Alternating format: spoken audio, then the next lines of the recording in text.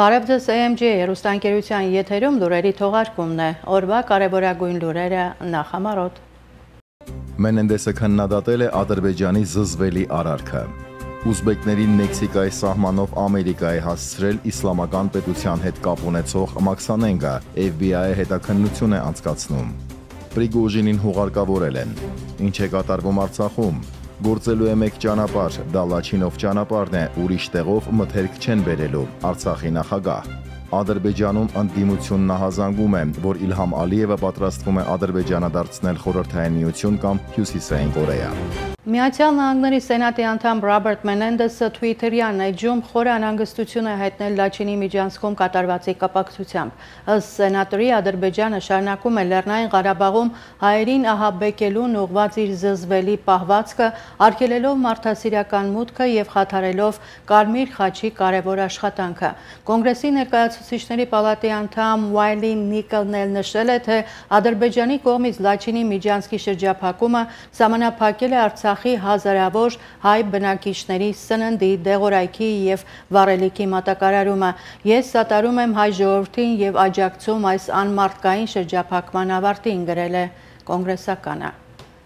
Նախագահ Ջո Բայդենը մոռացել է երկրի ներքին անվտանգության նախարար Ալեհանդրո Մայորկասի անունը։ Ելույթի ժամանակ ամերիկացի առաջնորդը չի կարողացել հիշել Պաշտոնյայի անունը եւ ազգանունը եւ նրան դիմելիս փորձել է խուսափել այն հիշատակելուց։ Ներքին անվտանգության նախարարը այն տղան, ով ստացել է այս աշխատանքը, շնորհակալ եմ, որ ստանցնեցիր այս աշխատանքը, ընկեր, ասել է Միացյալ Նահանգների նախագահը։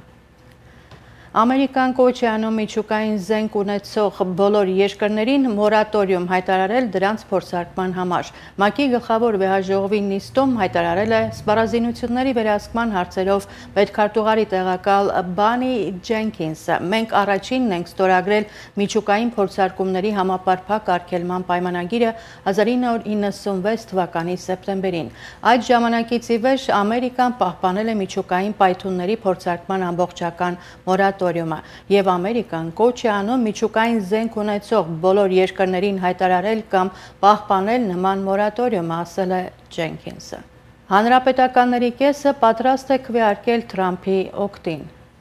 Հանրապետական կուսակցության ընտրողների միայն կեսն է պատրաստ առաջիկա պրայմերիզներում քվեարկել Դոնալդ Թրամփի օկտին, արտացոլելով նախկին նախագահի աջակցության ռեկորդային անկումը 2022 թվականի ամառվանից ի վեր։ Այս մասին վկայում են Emerson College-ի համալսարանի վերլուծական ծառայության կողմից օգոստոսի 25-ից 26-ը 1000 մարդու շրջանում անցկացված հարցման տվյալները։ Հետազոտության համաձայն Թրամփի վարկանիշը նվազել է 6%-ային կետով համեմատած անցած շաբաթ հանրապետականների նախագահական բանավեճ բանավեճի հերարցակումից առաջ անցկացված հարցման արդյունքների հետ, որոնց նախկին նախագահը չի մասնակցել։ Հանրապետական ընտրողների 50%-ը նախատեսում է պրայմերիզում քվեարկել Դոնալդ Թրամփի օգտին, ասվում է ծառայության հայտարարության մեջ։ Նշվում է, որ սա Emerson College-ի հարցումների պատմության մեջ ամենացածր ցուցանիշն է։ Թրամփի աջակցության մակարդակը 2022 թվականի հուլիսից ի վեր չի իջել 55%-ից, իսկ այս տարվա ապրիլին նրա օգտին պատրաստ են քվեարկել հարցված հանրապետականների ռեկորդային թիվը 62%-ը։ Ըստ հարցման արդյունքների, Ֆլորիդայի նահանգապետ Ռան Դեսանտեսի օգտին պատրաստ են քվեարկել հարցվածների 12%-ը, ինչը 2%-ով ավելի է նախորդ շաբաթվա համեմատ, մինչև բանավեճին մասնակցությունը։ Գործարար Վիվեկ Ռամասվամին ստացել է հանրապետական ընտրողների 9%-ի աջակցությունը, իսկ նախկին փոխնախագահ Մայք Փենսի օգտին պատրաստ է քվեարկել հարցվածների միայն 7%-ը։ Օգոստոսի 23-ին Թրամփը ելույթ չի ունեցել հանրապետական կուսակցությունից նախագահի տեխնացուների առաջին բանավեճում։ Նա իր որոշումը բացատրել է նրանով, որ ամերիկյան հասարակությունը լավ ծանոթ է իրեն եւ տեղյակ է նրա գործունեությանը որպես պետության ղեկավար։ Թրամփը նաեւ հայտնել է, որ հնարավոր է Ֆլորիդայի նահանգապետ Ռանդը Սանթեսը դուրս գա նախագահական մրցապայքարից։ Քաղաքական շրջանակներում լուրեր կան, որ Ռանդը Սանթեսը դուրս կգա նախագահական մրցապայքարից, ծաղրել է Թրամփը։ Թրամփը հավելել է, որ Դը Սանթեսի ներկայիս նախագահական քարոզարշավը անշնորհք է ընթանում, նրա քաղաքական վարկանիշները ամբողջովին փլուզվել են, իսկ նախագահական հավակնությունների փոխարեն նա պայքարելու է Սենատում տեղի համար Ֆլորիդա նահանգից։ Փորձագետների կարծիքով Դը Սանթեսը չի կարողացել օգտվել վերջին հանրապետական բանավեճից իր կուսակցության առաջադրման համար պայքարում դիրքերն ամրապնդելու համար, մինչդեռ մյուսներն ավելի հաջող են հանդես եկել։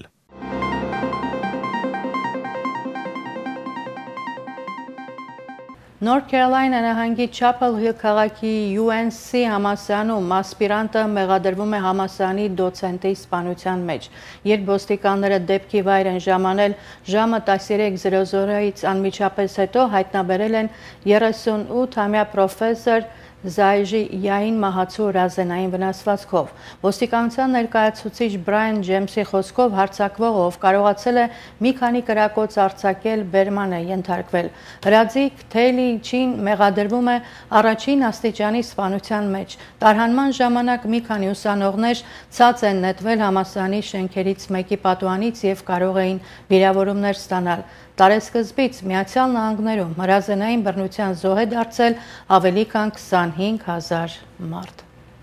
Նյու Յորքի Մենհադեն թաղամասի բնակարաններից մեկում մահացած են գտել 4 հոգանոց ընտանիքին, որոնցից երկուսը երեխաներ են։ Ոստիկանության փոխանցման բոլոր մահացածների մարմինների վրա հայտնաբերվել են դանակահարության հետքեր։ Ոստիկանները դեպքի վայրում հայտնաբերել են մի քանի դանակ։ Հերարցակողը հայտնել է նաև, որ բնակարան մուտք գործելու համար իրավապահները հարկադիր ուժ են կիրառել։ Սա ցույց է տալիս, որ սենյակը ներսից փակ է եղել։ Միջադեպի պատճառները չեն նշվում։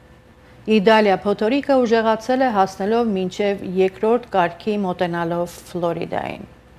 Իտալիա փոթորիկը ուժեղացել է հասնելով մինչև առաջին կարգի մոտենալով Ֆլորիդային։ Տարհանում է հայտարարվել կենտրոնական 4 քաունթիներում։ Նահանգի արտակարգ իրավիճակի վարչության տվյալներով հարկադիր տարհանման գոտին տարածվում է Citrus County ողջ տարածքում, իսկ Baker եւ Alachua County-ներում կամավոր տարհանում է իրականացվել։ Հատկապես տարհանելու են վրանային քաղաքների, շարժական տների եւ խոցելի այլ շինությունների բնակիչներին։ Այսօր ավելի վաղ փոթորիկների ուսումնասիրման ազգային կենտրոնը հայտարարել է, որ Իտալիան շարունակում է ուժ հավաքել։ Մասնագետների կանխատեսումներով այն աղետալի հետևանքներ կարող է բերել Մեքսիկական ծոցի եւ այսպես կոչված մեծ գոտու շրջանին։ Քամու պորտկումներն արդեն հասնում են ժամում 136 կիլոմետրի։ Ընդհանուր առմամբ նախազգուշացում են ստացել Ֆլորիդայի 14 միլիոն բնակիչներ։ Ֆլորիդայի նահանգապետ Ռանդը Սանթեսը հայտարարել է, թե ջրի մակարդակի բարձրացման հետևանքով կարող են հեղեղվել ափամերձ հատվածները։ Նախազգուշացումները վերաբերվում են մեքսիկական ծոցի ափի հարյուրավոր մղոն տարածքին, Թամփայից մինչև Ափալաչիկուլանեղուց։ Պատրաստ եղեք, ասել է նահանգապետը։ Նա իրավիճակը քննարկել է նախագահ Ջո Բայդենի եւ արտակարգ իրավիճակների դաշնային գործակալության տնօրեն Դայան Քրիսուելի հետ։ Դսանթեսը արտակարգ դրության ռեժիմ է սահմանել բոլոր 33 քաունթիներում, իսկ նախագահ Բայդենը թույլատրել է դաշնային ֆինանսական եւ մարդկային օգնություն ցուցաբերել Ֆլորիդային, եթե փոթորիկը լուրջ ավերվածություններ գործի։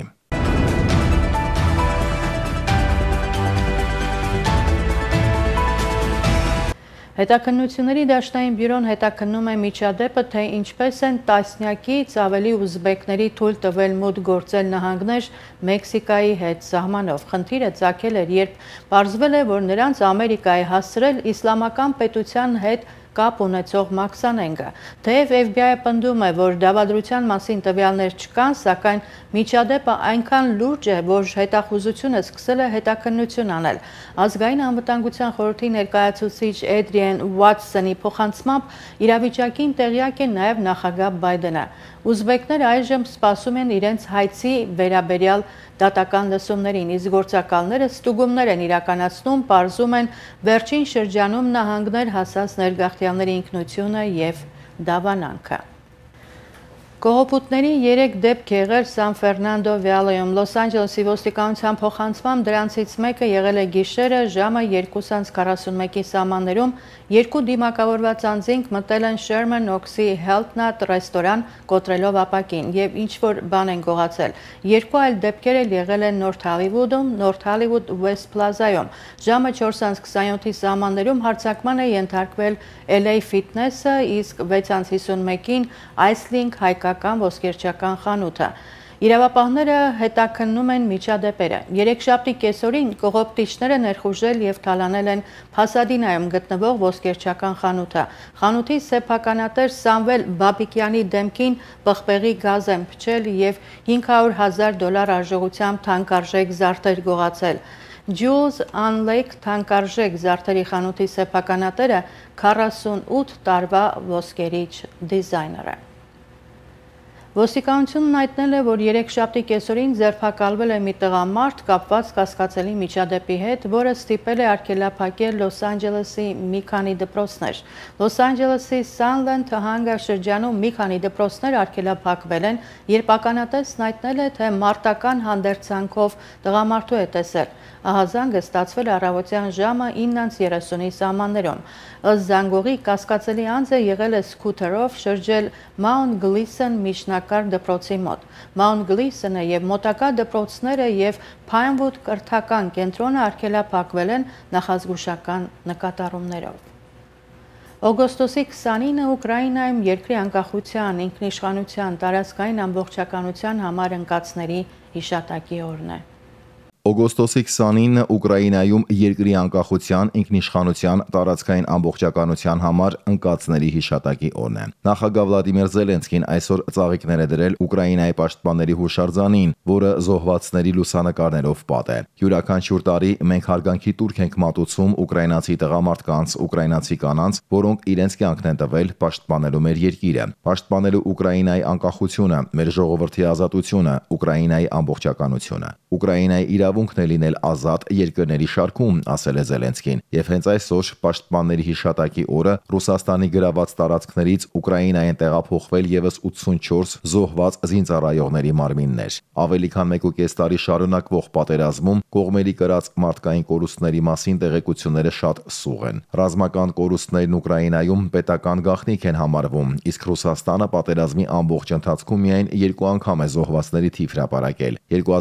2022-ի սեպտեմբերին Ռուսաստանը հայտարարեց, որ Ուկրաինայում 5937 զինծառայող է կորցրել, դրանից հետո Մոսկվան պաշտոնապես որևէ թիվ չի հրապարակել։ Ոչ պաշտոնական տվյալներով, որ լրագրողական հետաքննություններն են հրապարակում կամ ռազմական տարբեր գերատեսչություններ, փորձագետներ, կողմերի կորուստները տասնյակ հազարներով են գնահատվում։ ՄԱԿ-ը բարբերաբար զեկույցներ է հրապարակում խաղաղ բնակիչների շրջանում զոհերի մասին։ Ուկրաինական կողմի վերջերս սկսված հակահարցակման տեմպը եւս բացատրվում է շատ զոհերից խուսափելու հանգամանքով։ Ռուսների կողմից ականապատված դաշտերով հրետակոծության տակ լայն հակահարցակումը մեծ կորուստներ կպատճառի։ Ոստի արևելքում ուկրաինական բանակը փորձում է պահել դիրքերը, իսկ հարավում դանդաղ առաջ շարժվել Մելիտոպոլի ուղությամբ։ Ուկրաինայի գլխավոր շտաբի մամուլի խոսնակն այսօր ասաց, որ ուկրաինական զորքերը Վերբովո գյուղի ուղությամբ հաջողություն են ունեցել եւ ամրանում են ձեռք բերված բնագծերում։ Վերբովո գյուղն ընկած է Ռաբոտինոից հարավ արևելք,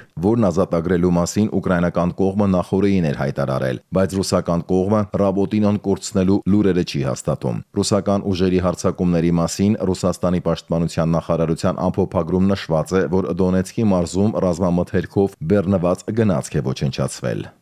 Այժմ գովաստ մեր եթերում կվերադառնանք հաշված րոպեներանց, մինչ դուք բաժանորդագրվեք մեր սոցցանցային էջերին։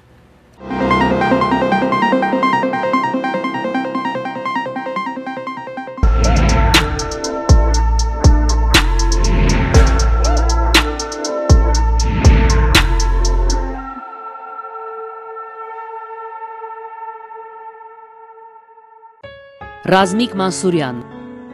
Հետադարձ հայացք Գոբելյանական համերգ նվիրված մեծանուն երկչի 65-ամյակին մասնակցությամբ Օլիմպիա նվագախմբի եւ համայնքի ճանաչված արվեստագետների Կիրակի սեպտեմբերի 17-ին երեկոյան ժամը 6-ին Glendale High School-ի դահլիճում երբ հետադարձ հայացք ես նետում անցյալին տեսնում ես որ արտիստը իր ամբողջ կյանքը նվիրել է հայ արվեստին Տոմսերի համար զանգահարելուց 1-8 265 0506 հեռախոսահամարով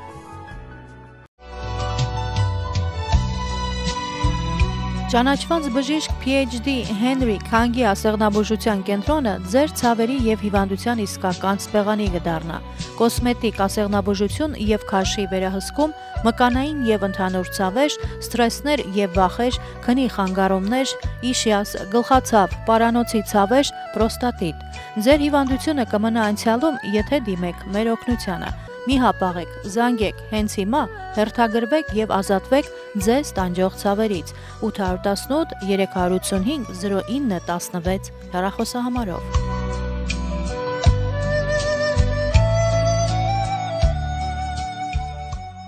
Ունեք պրոթեզավորման կամ իմպլանտացիայի խնդիր, հերացված ատամներ եւ դժվարանում եք ծամել։ Դիմեք Alpha One Dental 818 450 5000 Պրոթեզավորում իմպլանտներով, վենիրներ, կոսմետիկ ատամնաբուժական ծառայություններ, ինչպես նաև գեղեցիկ ատամնաշարժ ընդամենը 1 օրում All on 4 մեթոդով 818 450 5000 Alpha One Dental կլինիկայում դոկտոր Գոր Բարսեղյանի ղեկավարությամբ աշխատում են հմուտ մասնագետներ։ Բազմալեզու ենք Alpha One Dental 818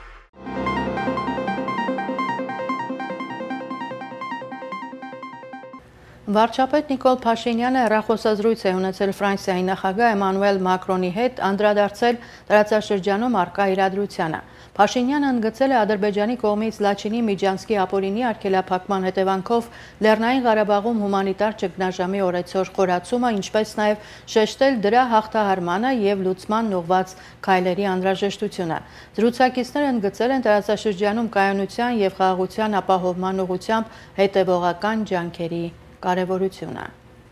Արտգործնախարար Արարատ Միրզոյանը Սլովենիայում Բլեդի ռազմավարական համաժողովի պանելային քննարկմանն հայտարարել է, թե Լեռնային Ղարաբաղում հենց այս պահին 120 հազար մարդ իրական միջնադարյան պաշարման մեջ է Լաչինի Միջանցկի փակման պատճառով։ Ըստ նախարարի ինստիտուտներն ու գործիքները, որոնք հարկավոր են ճգնաժամերը եւ կոնֆլիկտները ղեկավարելու համար, արդյունավետ չեն։ Միրզոյանի կարծիքով բացակայում է քաղաքական կամքը եւ հարգանքը միջազգային կանոն կանոնների հանդեպ, ոչ միայն դրանց խախտողի կողմից, այլ բոլորի կողմից։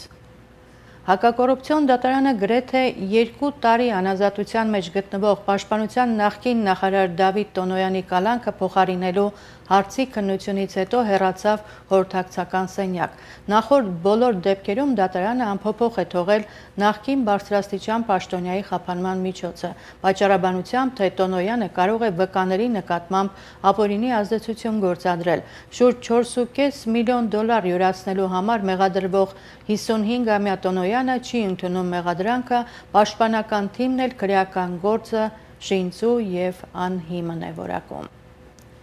ինչ է կատարվում Արցախում։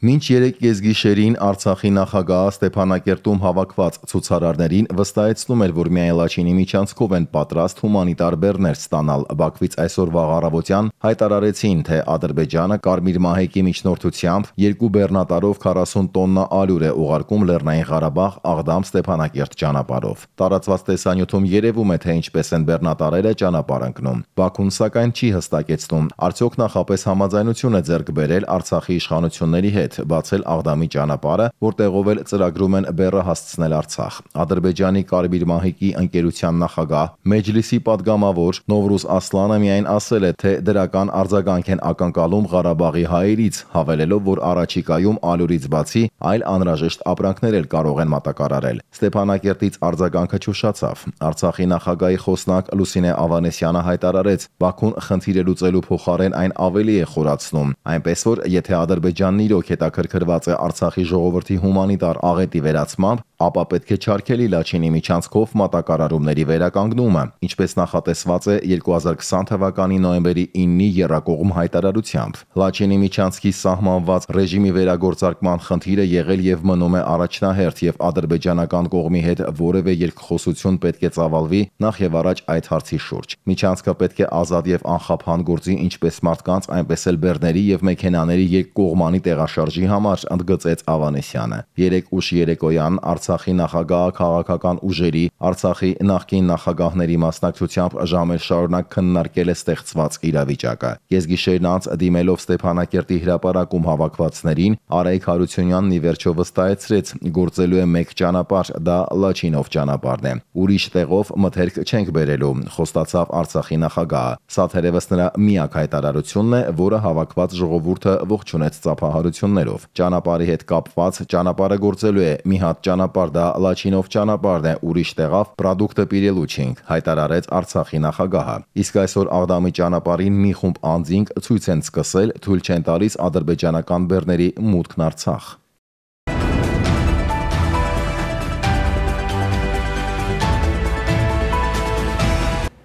Ադրբեջանում ընդդիմությունը հազանգում է, որ Իլհամ Ալիևը պատրաստվում է Ադրբեջանը դարձնել խորհրդային միություն կամ Հյուսիսային Կորեա։ լրացնելով քննադատական ցանկացած ձայն եւ կարծիք։ Բաքուն փոփոխություններ է նախաձեռնել կուսակցությունների մասին օրենքում, ըստ որի 5000-ից պակաս անդամ ունեցող կուսակցությունների գրանցումը չեղարկվելու է։ Ադրբեջանի ժողովրդավարական ուժերի ազգային խորհուրդը հայտարարություն է տարածել ընդդիմադիր կուսակցությունների գործունեության պաշտոնական արգելմանը իշխանություններին նախապատրաստման մասին։ Իլհամ Ալիևը իր իշխանության 20 տարիների ընթացքում վարել է ընդդիմությունը վերացնելու քաղաքականություն, ինչը շարունակվում է մինչ օրս։ Մասաչուսեթսի տեխնիկական համասանի պրոֆեսոր Թուրքահայ աշխարհահռչակ տնտեսագետ Տարոն Աջեմօղլուն մեծ հույսեր չունի Թուրքիայի տնտեսությունից։ Բացի այդ, Աջեմօղլուն որպես տնտեսության զարգացման նախադրյալ է համարել Թուրքիայում ժողովրդավարական իրավունքների ամրապնդումը եւ խոսքի ազատությունը։ Այս թվում հատկապես կարևոր է վերահսկել կոռուպցիան, դադարեցնել մրցակցությունը նվազեցնող գործելավոճը, ապահովել դատական մարմինների անկախությունը եւ ճանապարհ հարթել ներդրումների համար։ Դրանցում ոչ մի առաջընթաց չկա, կարծում եմ, որ չի էլ լինելու։ Անվանի տնտեսագետը նշել է նաեւ, որ ինքը Թուրքիայի տնտեսության վերականգնման հետ կապված այդքան էլ մեծ հույսեր չունի։ Էրդողանը կմեկնի Սոչի Արդեն մի քանի օրից Թուրքիայի նախագահ Ռեջեփ Թայիփ Էրդողանը կմեկնի Սոչի իր ռուս պաշտոնակցի Վլադիմիր Պուտինի հետ բանակցելու նպատակով։ Մի քանի օր շարունակ քաղաքական եւ դիվանագիտական շրջանակներում պատտվող այս լուրը 3 երեկոյան Թուրքիայի իշխող Արդարություն եւ Զարգացում կուսակցության քաղաքական խորհրդի մի քանի ժամ շարունակված նիստի ավարտին հաստատեց այս ուժի պաշտոնական ներկայացուցիչ падգամավոր Օմեր Չելիքը։ Ինչպես գիտեք, նախագահ Էրդողանը մոտ ապագայում կմեկնի Սոչի, հայտարարում էր Չելիքը նշելով, որ քննարկումների հիմնական թեման լինելու է 2022-ի ամռանը Անկարայի միջնորդությամբ կնքված եւ այս տարվա հուլիսին Մոսկվայի կողմից չեղարկված հացահատկի Սևծովյան գործարքը։ Մեր նախագահը դիվանագիտական ջանքեր է գործադրում, որպիսի աշխարհը կարողանա խուսափել պարենային ճգնաժամից։ Չի բացառվում, որ Սոչիի բանակցությունների ընթացքում առաջընթաց արձանագրվի հացահատկային միջանցքի վերագործարկման հարցում, հայտարարում էր Չելիքը։ Հարկ է նշել, որ Ուկրաինայում արտադրված գյուղամթերքի Սևծովում անխափան արտահանման հարցը թուրքական կողմի համար նախ եւ առաջ քաղաքական նշանակություն ունի։ Անկարայի միջնորդությամբ ձեռք բերված այդ պայմանավորվածությունները եւ դրանց հիման վրա Ստամբուլում ստեղծված Երակողմ համակարգող կենտրոնը թուրքական իշխանությունները որպես իրենց երկրի տարածաշրջանային աճող քաշի վկայություն էին անցալում։ Դա է պատճառը, որ այժմ թուրք դիվանագետները ջանք չեն խնայում գործարքն այս կամ այն տեսքով վերակենդանացնելու համար։ Ուշագրավ է իդեպ, որ գործարքի Ռուսաստանի կողմից չեղարկումից անմիջապես հետո Անկարայում խոսում էին այն մասին, որ դրա ճակատագիրը քննարկելու նպատակով օգոստոսին Թուրքիա կժամանի Ռուսաստանի նախագահը։ Հետագայում սակայն պարզ դարձավ, որ Վլադիմիր Պուտինը Թուրքիա մեկնելու մտադրություն չունի։ Դրանից հետո միայն օգոստոսի կեսերից սկսեցին խոսել բանակցությունների անցկացման նոր վայրի Սոչիի մասին։ Մամուլի հրապարակումներից դատելով Պուտինն ու Էրդողանը առաջիկա բանակցությունների ընթացքում միայն սև ծովով գյուղամթերքի արտահանման թեմայով չեն սահմանափակվի։ Մի շարք աղբյուրների վկայությամբ նախագահների բանակցությունների եւս մեկ ուղղությունը կդառնան տարածաշրջանային զարգացումները։ Այս հարցն է, որ թուրքական, ռուսական եւ արևմտյան աղբյուրները առայժմ Սոչիի բանակցությունների տարբեր ժամկետներ են մատնանշում։ Կրեմլի խոսնակ Դմիտրի Պեսկովը 3 որպես առաջիկա բանակցությունների ժամկետ գերադասեց օգտագործել մոտ ապագա ձևակերպումը։ Թուրքական ամենաազդեցիկ հերոստանգերություններից մեկի Հաբերթուրքի տեղեկություններով Պուտին-Էրդողան բանակցությունները կայանալու են գալիք երկուշաբթի սեպտեմբերի 4-ին։ Bloomberg-ը միանգամից երկու թուրք պաշտոնյաների վկայակոչելով պնդում է, որ Սոչիի բանակցությունները նշանակված են սեպտեմբերի 8-ին։